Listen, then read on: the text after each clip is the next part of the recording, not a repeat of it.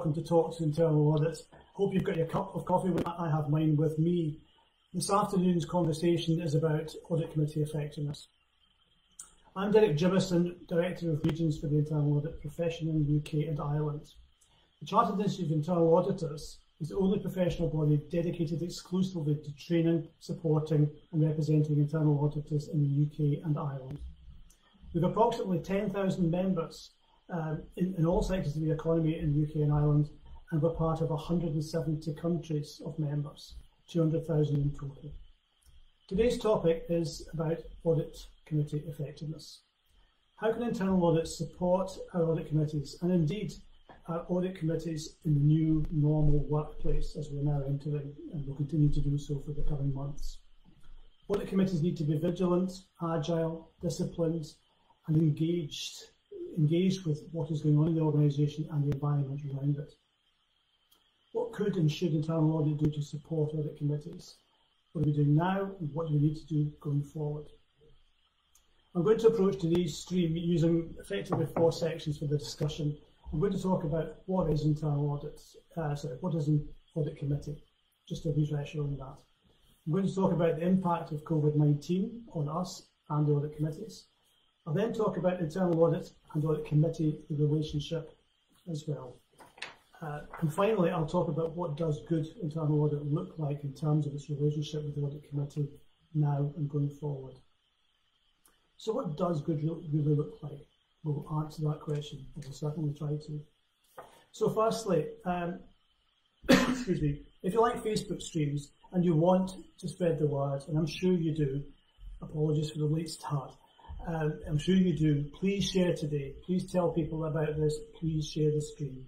You can do so by clicking the share button in the corner of your screen. The more of you do that, the merrier. Thank you. So let's begin. Audit committees. What is an audit committee? What's the point? So I thought I'd give you some history, just a little bit of history to start us off, some context as to what we're talking about here today.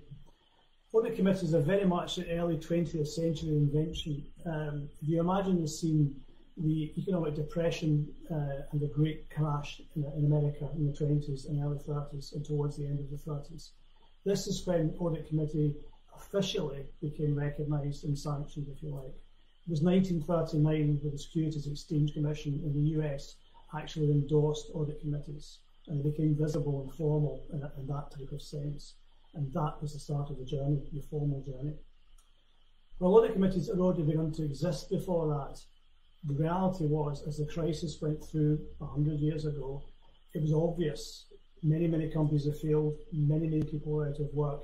There were root causes, and some of the root causes related to the governance of organisations. Hence the need for an internal audit later in the century, but firstly, hence the need for an audit committee a body who looked exclusively at the governance of the financials and control framework within the organisation. So that's the start point. The rest is history.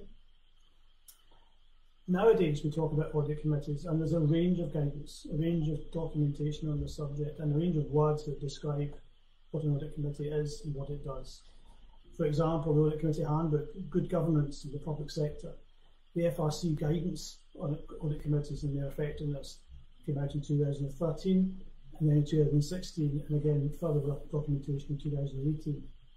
The country's Registration Office in Ireland have articulated what it is, what it should do. CIPFA, ICAEW, all the professional bodies that relate to this world have something to say about it, and of course ourselves as well. A lot of words to describe what they are and what they should do. For today's purposes, I'm going to talk about the Financial Reporting Council's guidance uh, on audit committees, published in 2018, possibly the most recent version, and certainly given it is a government-sponsored regulator, certainly a key document for the majority of members to pay attention to. And it should give internal auditors an understanding, an understanding we should use as we're working on a day-to-day -day basis.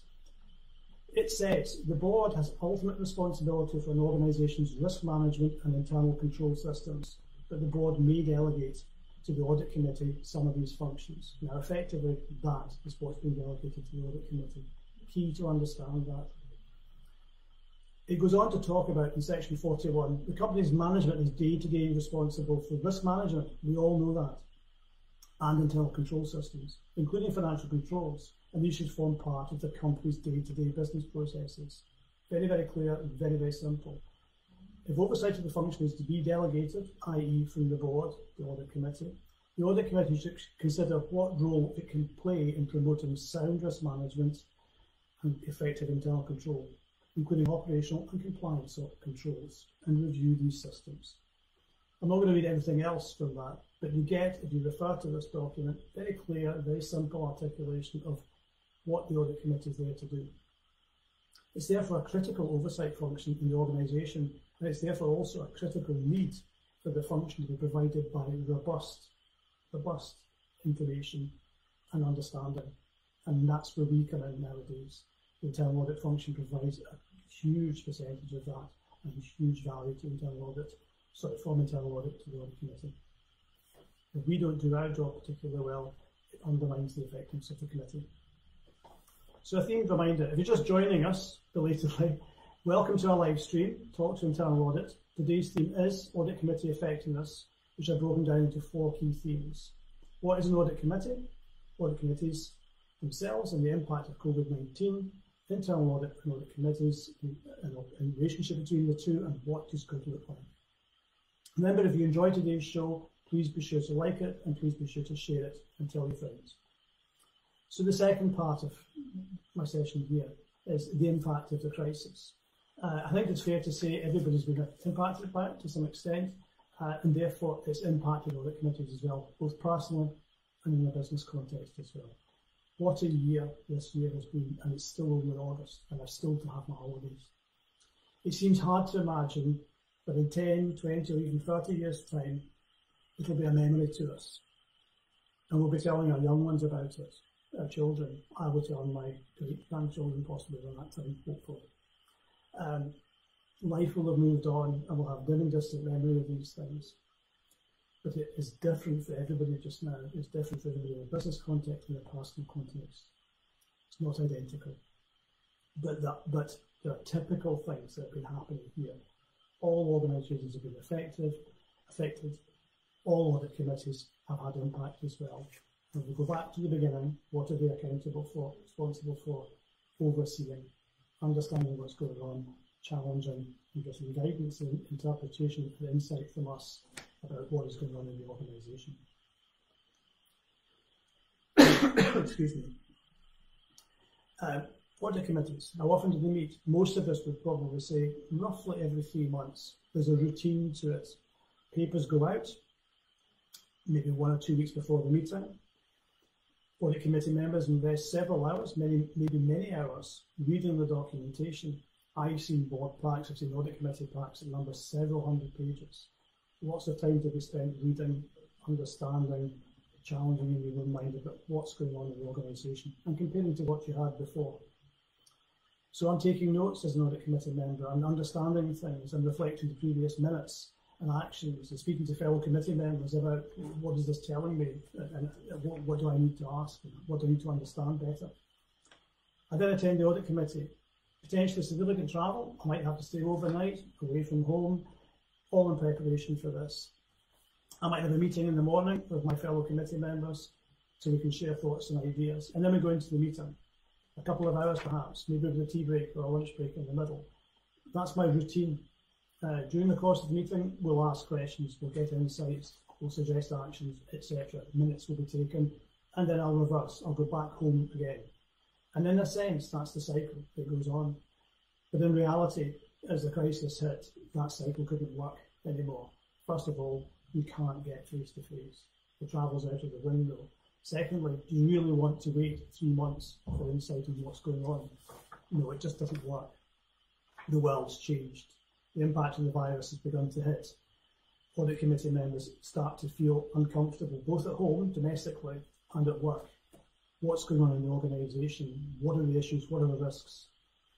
Now, that's easy to understand when you think about it that way. When you also consider the accountability they have for the organisation, it's potentially better to understand that these guys and ladies are worried, worried on behalf of the organisation and worried on behalf of themselves. How can I help? How can I do my job better? Questions they'll be asking at the beginning of the crisis. the people? Are the staff okay? What measures have been put in place to maximise their safety? Are they working? What's the update? What's going on? Operations. What are the major areas of impact on the business? What might happen next? What's going on? Is the crisis resilience plan operational? Is it working? Who can I speak to? Customers, what's the impact? Are we making things secure for them? What's their response? Do we have any customers left? Finance, finally finance. What's the impact? What's the projected impact on the books, the income, the expenditure? What's the response? Many, many questions. That's just a few of, four or five topics. Major impact. Why am I going on about this? Because that's the accountable body. So what do they want to do? They want significant answers to significant questions, very, very significant, meaningful answers to these questions. we can't phone up the executive every two minutes. They can't phone up internal audit every two minutes. They get in the way. Internal audit would say, get out of the way. The business would say, get out of the way. So the reality is they need to put a new engagement into place. But it's very dynamic. It's very fast paced. Things that we didn't expect to happen are happening. The change is essential. We need to change what we do to help the audit committee fulfil their responsibilities. You may be aware that the Institute ran a survey um, not, too distant past about the impact of the COVID crisis. We'll be reporting that over the course of September, where we spoke to, well, we surveyed a whole range of heads of audits, and we, and we actually spoke to a good number of them as well. And we asked them questions around what's the impact? Considerable, absolutely considerable. I'll give you some details later. Nothing I'm about to say about audit committees is critical. Nothing I've said so far is critical, and it won't be. The reality is everybody's different. But some of the things we have heard are audit committees have been deferred. They couldn't get together. The business wasn't able to give them information.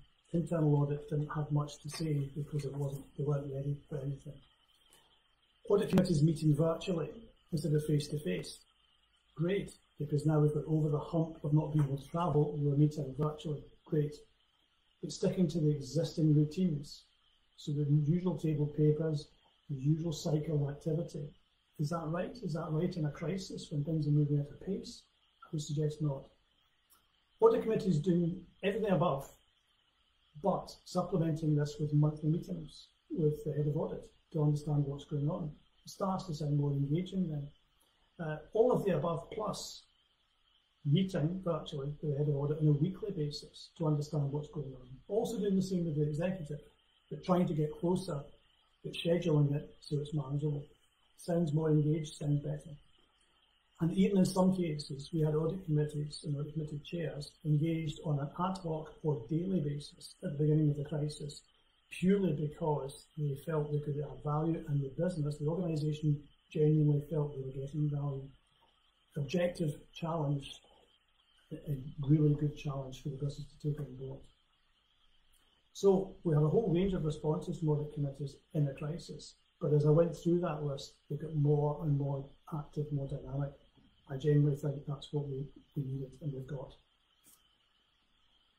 There were, however, some examples from our survey when no audit committee engagement took place at the start of the crisis until the time of our survey towards the end of June. I would just ask you to think about is that relevant? Is it valid? Getting the responsibilities of the audit committee, is it right? And what is internal audit doing about that? Anyway, I'm not going to be critical, I'm just observing, and it sounds a bit critical, but I'm not there. I wasn't the audit committee, I wasn't the head of audit. I just beg a question around that. So hopefully, over the last few minutes, you've understood a couple of things. One, yes, I'm emphasising this, they're massively important functions. Two, they need to react to a crisis like anybody else does, but they need to react in a way that's manageable and doesn't interfere with the organisation. But they have responsibilities, so they need the engagement. And they do need it with internal audit because, to be frank, internal audit is independent and objective and can give a strong view about what's going on at a time when it's critical to know what's going on. So another theme reminder for you just now. If you're just joining us, welcome to our live stream, Talks Internal Audit. Today's theme is Audit Committee Effectiveness. I've broken it down to four key areas. What is an audit committee? The impact of the crisis, COVID crisis, And now be talking about audit committees and relationship with internal audit. And finally, we'll talk about what good looks like. I've just talked through the impact of COVID-19 and we'll now move on to a discussion around internal audit and audit committees themselves, the relationship. Remember, if you enjoyed today's session, please be sure to like it, please be sure to share it, and please be sure to tell all your friends. Internal audit and audit committee effectiveness, the third part of this. Clearly, internal audit plays a key role in providing the audit committees with critical information which helps them understand their duties and helps them meet their accountabilities. Critical information usually takes the shape of the audit report, with whatever narrative normally goes into it from the audit department function. The same rule applies in a crisis, and we're in one, and we may well have another couple coming. The same rule applies to set the dynamic is different. Everything is changing. It's immediate. The priorities change. The risks potentially change quite considerably. So the focus of audit has to change as well. There is no point checking what we planned to check last week if it isn't happening this week. There's a big point in checking something that is valid in the sense of being critical to respond to the crisis and help the organisation to survive. That's where the focus has to go. I'll never forget a guy called John McMillan uh, a tutor of mine from the Institute when I first qualified, uh, or tried to qualify many, many years ago. Um, the scene for you is Saturday morning of a weekend school in the east of Scotland. Uh, we had gone to the study school for the weekend on the Friday for a dinner to meet and greet the tutors and to relax a little bit. Um, the scene was Saturday morning. Um, as many people might know me, I wasn't necessarily in the best state of appearance Saturday morning, but nobody was. But we were talking about the importance of auditors and management and the relationship between the two and the information share between the two. And John actually said to everybody else, quote as best I can, Derek currently has an expression on his face which summarises what we need to remember about the information and the importance of it for an audit committee vacant. Information must be valid, accurate, complete, and nice for times. So if you ever get stuck understanding how important information is, just think of Derek's face. I hope most people have forgotten that, but I just thought I'd share it because vacant, whilst I might have been vacant at the time, has stuck with me ever since. Thanks, John, if you ever see this. Thank you very much. It's a true story, uh, and I'm going to stay vacant for a moment or two, if you don't mind. Consider the Audit Committee's role, its concerns about the organisation, its challenges, its accountabilities, and then consider the possible reason that internal audit wouldn't need to adapt to changing circumstances. There are no reasons that audit would not adapt. It's critical that we do. Again, we've spoken to many heads of audit who have seen and we have seen from them that they've reviewed the risk universe to reflect the changing environment. They've revised the audit plan to take out the audits that are no longer relevant, or certainly currently not relevant, and replace them with audits which are relevant. They focus on critical controls. At a time of crisis, that is fundamental, and the critical controls in an organisation can sink it at the of crisis. So we focused on them at the expense of maybe a longer audit with slightly less important controls as well. They've shortened the audit process. They've focused audits on those key controls, and the audits have lasted a few days rather than potentially a few weeks. They've abbreviated performance reporting, performance of the organisation, of the control. They've one-page reports, where 20 pages used to be the norm we've managed to get the report out within a day. In some cases, we had of the day, the day of finishing was the day of reporting. We've engaged in regular calls with the audit committee chair to feedback on everything we've been doing, and so forth and so forth. A lot has changed in terms of how internal audit has engaged over the last few months. Perhaps the key message out of all that is we changed, we're able to change, we're added value. It it's good to know that you've added value. We need to bottle that and work out what is good, how to keep it, and how to do it in the future. We can't go back to what we did before just because we used to do it. So message is stay relevant, keep adding value, but find a better way of doing it all the time.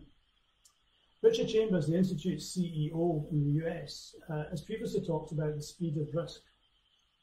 If you've heard about it, good, I can carry on. If you haven't, by all means, go and have a look at that definition tonight, that, that narrative tonight. It is very much about how risk can change and it can impact particularly quickly. You may have also heard the phrase risk velocity or other similar phrases, just to suggest that there's a dimension here which is pace and change and time. In simple terms, risk realize just like that and impact exceptionally quickly. The risk for internal audit is we don't recognise that, we report too slowly. We report after the risk is crystallised. That is not good internal auditing. So we have to be dynamic, we have to be as quick as we can to get the key messages out. Robust insofar as we're doing the right work the right way to get the right message, but we have to report quickly. It's absolutely critical going forward. I once reviewed the internal audit reporting process for a global organisation in a, in a previous role. The planning phase typically took a week uh, and included the, travel time from the site where the audit function was to the site where the audit was taking place, which might have been a flight. During the planning phase of that week, everything was done, apart from the flight booking, um, the scope, the documentation around it, some of the, the testing programs, etc. The field work would take place over a one or two week period, and the draft report was discussed and agreed an outline as they left, as they left site to go home. The final report would be issued a week later, by Wednesday. Why so quick? Well, quite simply because the organisation valued internal audit, internal audit's work so much, they wanted to hear. They wanted to hear what they thought and they wanted to hear it quickly. Why did they value it? Because it was, impactful, it was correct, it was giving them risks that weren't being managed effectively, it was suggesting to them they need to take action quickly. The organisation wanted to hear more of that. They bought the internal concept completely and had an insatiable appetite, if you like, for getting the messages. Great place to be. Maximum value if you catch something before it finally crystallizes. Crystallizes, my apologies minimum value if the time between finalising the fieldwork and finalising the report is enough time for that risk to crystallise, or it is not hitting the target at that point. If you got, get your car serviced, use another simple analogy, if you get your car serviced, you don't want to be driving the car two weeks later with a child in the back to get an email pinging to you to say this car is not roadworthy. Please get out of the car. Please stop it's too late at that point potentially. You might have crashed, to be honest. So what can we learn? Quite simply, we need to keep our scope tight. We need to be clear what the risk is. This adds value to our audit service, to the audit committee. We need to be relevant, absolutely relevant to the timing. So our, focus might be absolutely correct in terms of scope, but not the right time for the audit cycle. You can be relevant to audit, keep it tight, better value. We need to be quick at reporting. The news is now. Tomorrow it's history. Make the news relevant. And a final comment. We need to ensure our reports are relevant, valid, accurate, complete, and nicely timed. I'll never forget that. Um, please, please do that if you're not already. The audit committee wants it and absolutely needs it. The bit I didn't talk about was provide insights and foresight. Don't just report what you've done. Don't just report what it's told you.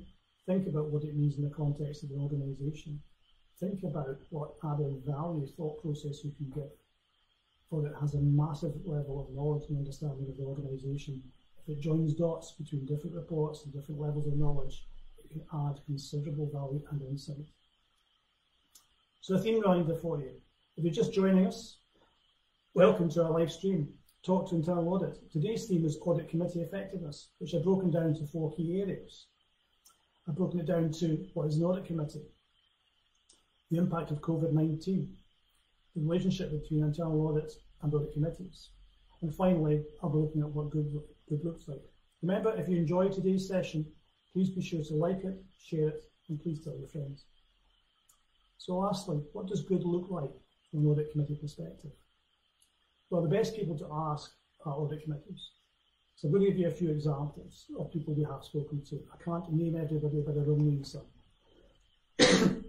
Lord Smith of Kelvin um, was a huge advocate of the internal audit profession over many, many years. Uh, and for those of you who don't know who he is, please use the Google search and you'll find out. Big, big advocate. Uh, some of the words he used to describe internal audit, and he said this at Scottish Conference a number of years ago, he described his internal audit, his ideal internal audit function as my trusted advisors, my eyes and ears, my conscience, and the person who warns me before it's a problem. So you can take from that the head of audit is critical, absolutely essential. And Smith actually said that. He's critical, essential. It's essential to me do my job well. He also said, my head of audit, and he had three at that time in different organisations he was chair of audit committee on. My one of the best head of audits is both responsive to my needs, but is increasingly proactive and predictive. He gets there before I'm thinking about it. Makes me think. Makes me wonder. So he was happy with that. He also commented on a couple of other things. Reporting has become speedy. I can't remember if that's the correct word, but reporting has become speedy and focused. To get into the detail, they're giving, giving it to me in a speedy way and a focused way. We don't want a situation where it takes too long. We've already focused on that. We do want to identify themes, um, themes and connectivity and so forth. As I said, insights beyond just the scope of the audit. And Lord Smith was very positive about that as well. The chair of an audit committee uh, for public sector suggested that she believed she had a fantastic relationship with the head of audit.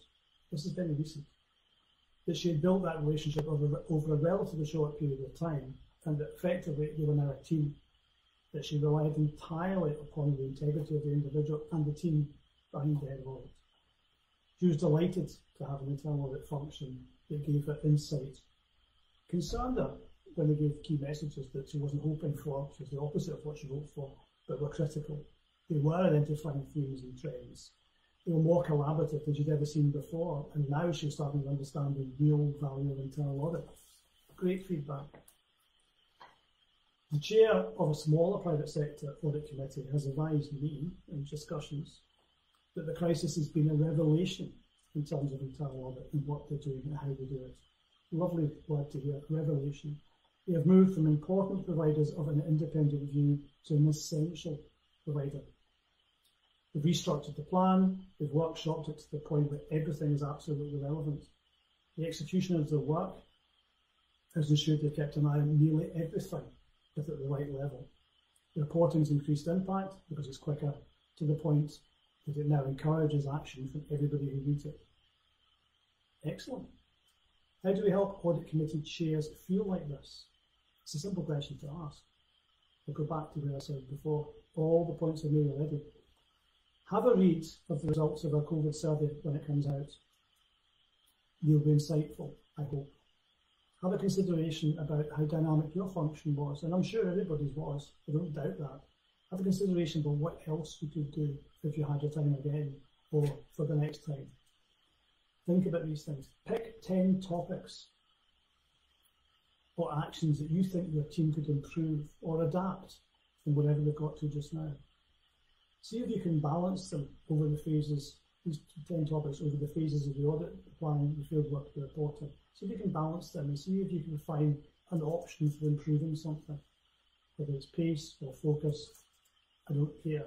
See if you can do it. Because I think, as I heard today, a range of people actually today, internal audit has imagination, it has ideas, it should get on and do some of them. I would be delighted to offer my support for your work in raising the profile of the profession. This is what somebody said, chair of an audit committee from the FTSE 50. I would be delighted to offer my support for your work in raising the profile of the profession and the relationship with the audit committee, and in establishing a view of what good looks like. I'm sure I will learn something myself from this. So I thought I would quote something that's been said recently. We have a chair of an audit committee who wants to learn something, believes he will, and wants to help. The relationship between audit committee and internal audit is vital. So to summarise and to recap, That was the session on audit committees.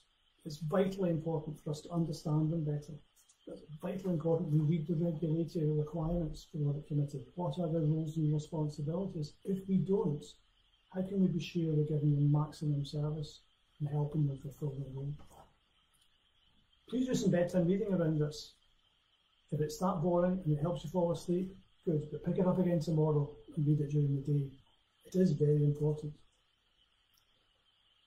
Please have a look at the web pages, our web pages on our COVID journey with Heads of Audit, Heads of Audit Forum, Virtual Forum. Please have a reflection on what that's been saying. It's been talking every week about how internal audit has changed, what it's done, the feedback, the challenges, the feedback to what they did after that. It is quite insightful. For information going forward, we'll be establishing a page on our website specifically for audit committees. Uh, we've been discussing, as I've mentioned, with a number of audit committee chairs um, their experiences in internal audit. We believe, and we know this now from talking to them, that we have a need as a profession to explain what we do a bit better, so they understand us a bit better, to help you do your job better. We also believe that we can give them some more guidance and direction around what we're doing, so that page will be created for audit committees. Please help ensure when it gets up there, please help ensure you tell people about it because what we'd like to do is collaborate more with audit committees. If we can do that, it helps them challenge you, the audit functions, to give them better service. So if you're just joining us today, the show was all about audit committee effectiveness, which I broke down into four key areas. What is an internal audit committee? The effect of COVID-19 on audit committees, the relationship between internal audit and the audit committee, and what good looks like. And so I've given you several quotes from that. The live stream is available afterwards for those of your friends and colleagues who may have missed it. Please encourage them. Follow all the exciting things we do in the Institute uh, activities on Facebook, on LinkedIn, and through our website as well as Twitter. And as a member, you have access to the latest edition of Audit and Risk magazine, which is available on our website. Please read that. Please engage with us and tell us what you think what you see. I'm happy to take questions, uh, as I know Liz is at any point in time, at derek.jamieson at iia.org.uk. Next week, uh, you can join us at 4 o'clock, unlike me at quarter past, on Thursday for another informal live chat as we continue to support you through this difficult time and with key insights and knowledge. Don't forget your coffee, don't forget your tea, your whiskey, whatever. Please remember, talk to internal audit. We are listening. Thank you very much and stay safe.